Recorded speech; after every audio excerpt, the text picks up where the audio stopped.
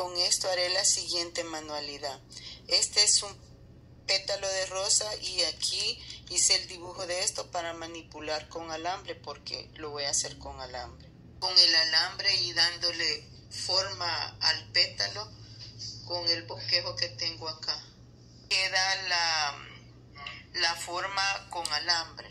Hay que escoger una forma de pétalo no tan complicada para darle una forma fácil. Damos la pieza por el fuego y luego la golpeamos.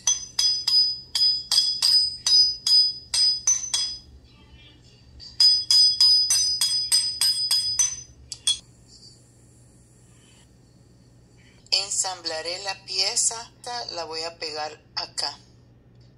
Utilizaré este líquido.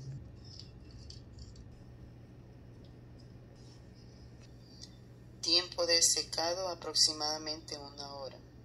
Con los dos pedacitos que quedaron acá, con una pinza le hice dos argollitas para convertirlo en colgante.